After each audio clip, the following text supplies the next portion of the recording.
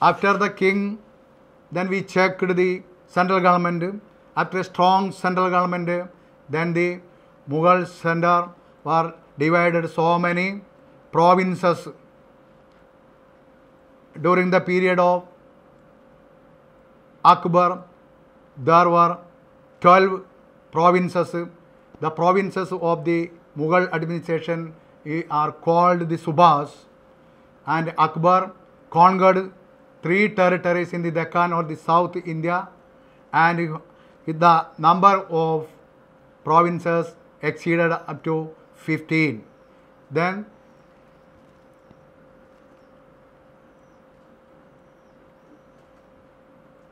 the provincial government was just a model of central government and every province is called a Subha. This was actually a replica of the empire and during the time of Jahangir and Shah Jahan and Aurangzeb, the number of Subhas 17, 22 and 21 respectively. The provincial government was so strong during the period of the Mughals. Every province or the Subha had its own administrative department.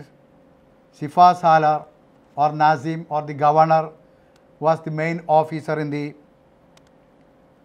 province, was the head of the province, whose official name was Sifa Salar or Nazim, was the emperor's representative, was an authority in province and maintenance of peace and order was his uh, obligation and he kept justice in his province and public welfare was his main duty learning and education was his obligation and in addition to this he had to help the Diwan and again he had to maintain provincial forces to the Mughal state. The second important department in the province was Diwan. Next to the Sifa Salar and most important officer in the province, Diwan was appointed by the king who was the financial administration undertaken in the province, had to collect revenue in the province. He became the watch and ward of the treasury in the province, had to examine the accounts,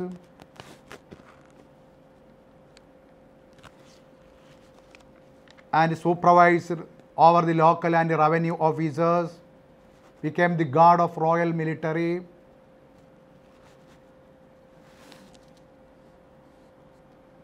after which he had helped by two more other officers, Bakshi number one and Bakshi number two, etc. Next to the Diwan in the province, the Sadar was the next authority. Was Sadar in the province, appointed by the who was independent from Sifa Salar of the province to supervise the lands of religious and charitable purpose. Many times he became man of piety and learning and was accountable to the Sultan directly. Next to Sadar, there was a Qasi in the province who was the chief and head of the judicial department in the province and who exercised judicial matters in the province, who supervised the districts and town Qasis. These are all the main functions of Qasi in the province. After Qasi, there was another important department in the province whom we call the Bakshi. Bakshi was important officer appointed by the emperor, was also a military officer, and recruitment, organization, maintaining, discipline and efficiency of the army were under his obligation. After the Bakshi, Next important department in the province was the Vakia Navis. Was responsible to the center because was appointed by the center, was the card record keeper in the province, and the reporter of the events and occurrences in the provinces, and who posted or appointed news writers and spies in his lands and he can supervise all the departments and Vakya was the officer can report all the secrecies happened in each and every department in the province to the Sultan. Next department in the center was Kotwal. Kotwal was actually a police officer. Was appointed by the center. Peace and order was his main obligation. Was main area was the city.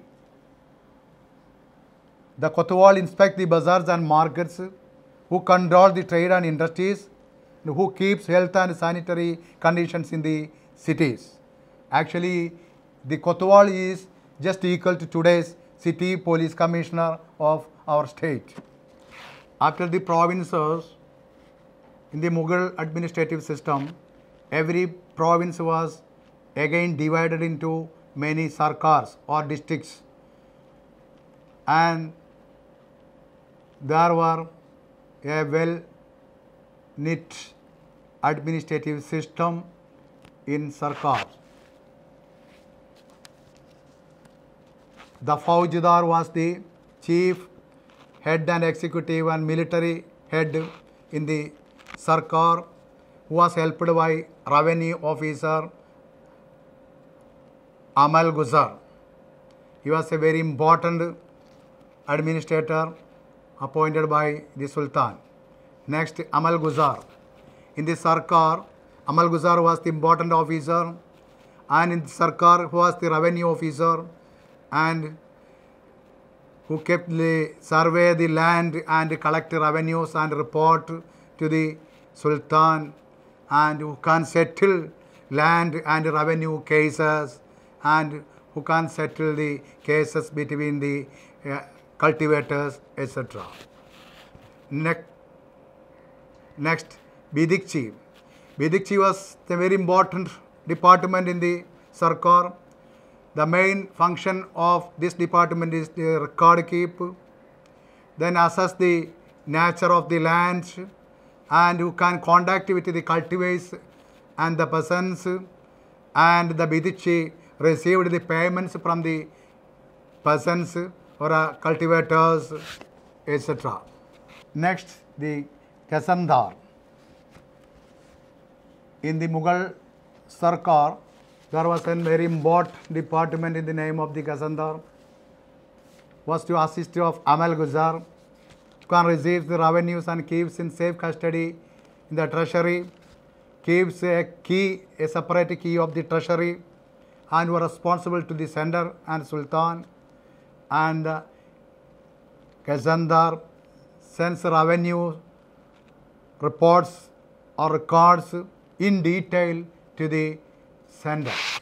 Next unit of administration of the Mughals was the Pargana.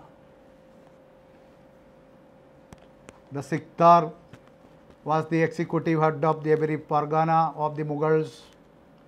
The Siktar had to maintain peace and order in his Pargana and who always to help the Amil. Then next, the Amil.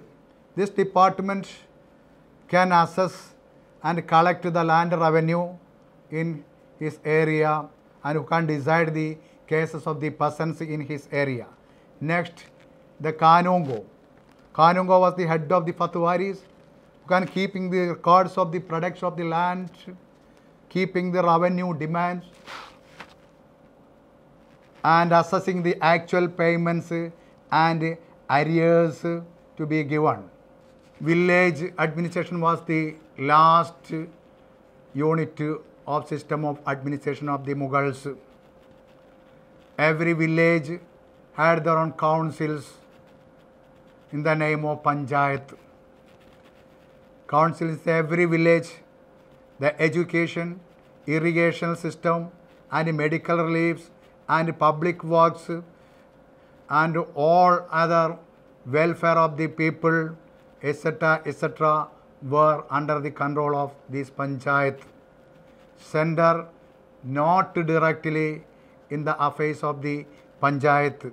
All the preliminary educational system, agriculture, industry, trade, commerce, all these were under the strict vigilance of the Panchayat during the time of the Mughals. Then we have to go through the Mansabdari system. This is the most important system uh, made by the Mughals, especially Akbar. Actually, Akbar was the not the originator of this system. This system was existed even during the time of the Delhi Sultanate.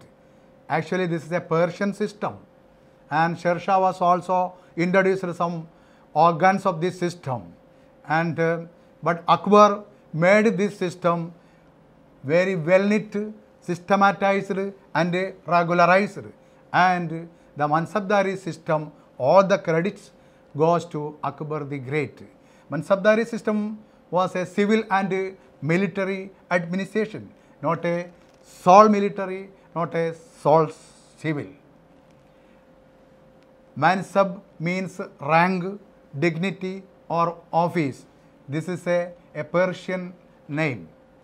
There was well established system for the recruitment, promotions and dismissals of these higher officers in the nation. Mansabdar is very supremo in his province. There are so many grades in Mansabdars. Some historians are of view is that there were 66 grades and some are of view is that 33 grades. The lowest grade of Mansabdars were 20 and the highest grade of 20,000. And there were three important classes of Mansabdars as unit.